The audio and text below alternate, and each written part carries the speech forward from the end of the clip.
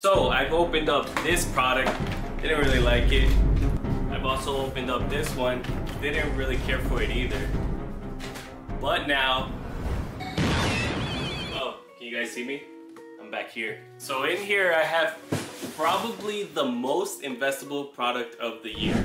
All right, so let's take a look here. I got a bunch of these boxes because it was just honestly such a great deal. So here it is. We have the Sky and Sea Crown Zenith collection box. Now let's talk about what makes this such a great deal. So we actually have 14 Crown Zenith booster packs. Uh, that's for $40. $40 for 14 packs. It's like $2.80 a pack. I'm actually gonna jump on my desk, open this up, and I'm gonna keep telling you guys why this is such a great deal. All right, so here's a closer look at our collection box. And as you guys can see, this thing barely fits in my desk. Now, here's the thing. I'm gonna say this right away. And yeah, look at this, this box is huge. I'm gonna say this right away, guys, and most of you are gonna fight me in the comments. Go ahead, I welcome it. Fight back! Fight back! Fight back! Fight back! But to me, this is a product that I would say 9 out of 10 times I'd probably open it um, just to try and get a hit. I know most people say like, you know, sealed product is better, especially this box. So I bought this $40 MSRP and it's already going for $80 on TCG player. So it's already doubled in price. So I'm going to tell you guys my thoughts on the matter, but first let me, let me just take all of this out. I'll give you guys this view real quick of the box. So yeah, we have seven packs on that side. Here is our Rayquaza V promo the Rayquaza Holo prom promo as well, Kyogre and Kyogre V. Alright, so I just took everything out of that box because it did not fit in my desk. So pretty much here is the oversized card.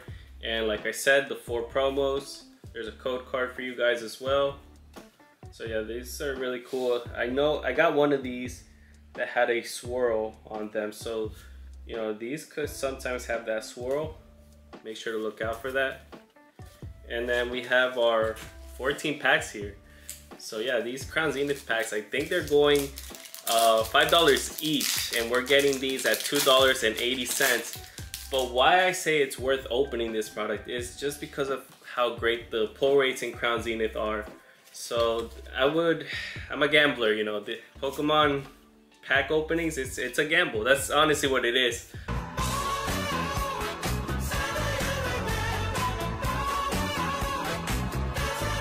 So I'm low-key a gambler, guys.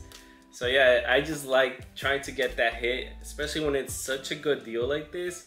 I paid 40 bucks for just one box. Uh, you know, you could get lucky and get one of those gold cards. We got the Swablu. And another thing I do want to say about it, we got an Entei Holo. And why I welcome you guys to fight me in the comments is because how good the pull rates in Crown Zenith are. That's what's honestly uh, making me open this product mostly because yeah, it's good to keep it sealed. Of course, it's already gained $40 value. If you guys want to, you know, just buy the product and flip it real quick, you're more than welcome to do that. Uh, but yeah, just me personally, I just, you know, like taking that little risk, that gamble. Um, I have a feeling, I don't want to say it's instant profit with these to where I'll get cards worth more than $40, but I do think the chances of doing that is a lot higher than normal.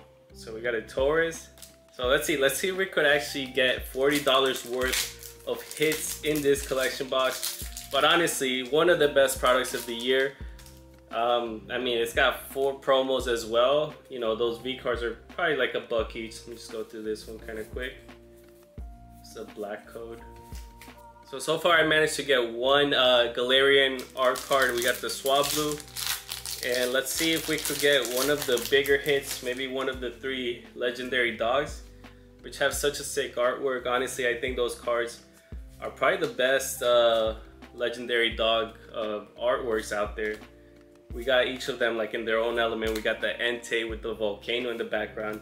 That card is just sick. I honestly don't know how it's just worth like 20 bucks still.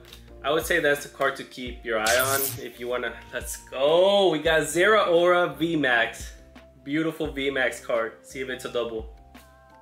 Oh, okay, we got the Lightning Energy. Uh, this is like the textured one. It's got the lightning bolts in the background along with the Pokeballs as you can see there. So pretty nice.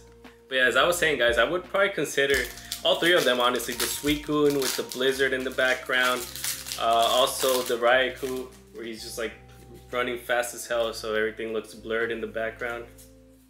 So yeah, I would definitely consider picking up those three singles because they're honestly they're still fairly cheap considering the artwork and the Pokemon. You know, those are very popular Pokemon. They're from Johto. And Johto is just, I mean, that's honestly one of my favorite generations. I mean, it's the second generation. We got a Comfey, Galarian art, and a Knitted Snorlax. Alright, so that's five packs, four hits, three hits. That's not too bad. Let's see, let's see if we can make our money back. I'm gonna put uh, my money, what is it? My The money in my mouth? I almost said the money in my mouth. But yeah, you, you guys know what I mean. Alright, let's see, we got an Ultra Ball, Crushing Hammer, Luxio, Scyther, Pokeball, Yungoos, see if we got a hit. Feel like I peaked and yep, we got a Roxanne full art. Can it be a double? And a Luxray. So not too bad on the hits. That's what I love about Crown Zenith. Uh, I'm not sure if it has the best pull rates in the Sword and Shield era. I mean, definitely 100% better than Evolving Skies. That's just like a mess. Opening up like Evolving Skies, kind of like throwing your money away. I would say just buy the single. I think with all the Evolving Skies that I've opened, I've more than, you know, spent more than what, uh, uh what is it, Moonbreon is worth. Because yeah, I've opened up a lot of Evolving Skies, never really got too lucky. Oh, we got the fire one now. wonder how much these goes for. I haven't really looked at these. I would say probably like three bucks or so. But yeah, that was seven packs down decent hits. Let's see if we could maybe get one of those gold cards. That would be awesome. And I think those gold cards as well, they're a bit on the cheaper end right now. They did have uh, th that price increase, but they all started settling down. I mean, it was all like the Sword and Shield era cards that had that crazy uh, spike with all the alternate arts and all of that. But that could also be uh, market manipulation, so you guys gotta be careful of that because you know me being i'm like what a collector like hard collector i would say like two years now you know when i started seeing these alternate arts going up in price like i kind of freaked out. I'm like oh crap i gotta start buying some you know they're going up. But uh, yeah it's just it could be market manipulation uh, sometimes. So just be very careful because i kind of regret buying some of the singles that i bought. Uh, i bought a lot from evolving skies chilling reign Lost Origin, I bought a few, and uh, they just ended up going back down in price. So just be very care careful with that, because I just like I'm just like, oh, they're going up, they're gonna continue to go up, but no, that's not how it works. They hit a ceiling, meaning like the max point in price, and then it just starts going down. And yeah, just be very careful. Lycanroc yeah, just do more research on, you know, all this stuff. Ask your friends. Uh, probably could have saved myself some money or buying singles for a lot more if I would have just talked to some friends because, uh, yeah, or people are at car shops. If you go to a car shop, you learn a lot, guys. Like, honestly, anytime I step into my local game store, um, just have a conversation with anyone. You just learn so much because yeah, a lot of these people they they know a lot about the hobby, the collector standpoint. They've been collecting probably like 10 plus years. So yeah, just uh, you know, make sure you go interact with people and have those conversations. We got the Kyogre Holo. I was curious actually if it's the same. Yeah, it's the same as the promo card, but the promo card uh, has this bubbly hollow, so it's pretty much going to be more exclusive. I actually did want to talk about this Rayquaza as well. So I've been seeing a lot of Rayquaza cards with like just this smaller like hollow box where they're like priced pretty well. I've seen like a shiny one like this as well. So I could definitely see that being a promo that could go up in price in the future. So, you know, make sure you sleeve that up and maybe put it in the top loader. All right, let's see what we got. We got like four packs left. And uh, let's see, hopefully we can get a big hit. I wanna get one of those Galarian Gallery. It was the Galarian Gallery in this subset. This was a special set. It was the last one from the Sword and Shield era. And it's Scizor. Alright, three packs.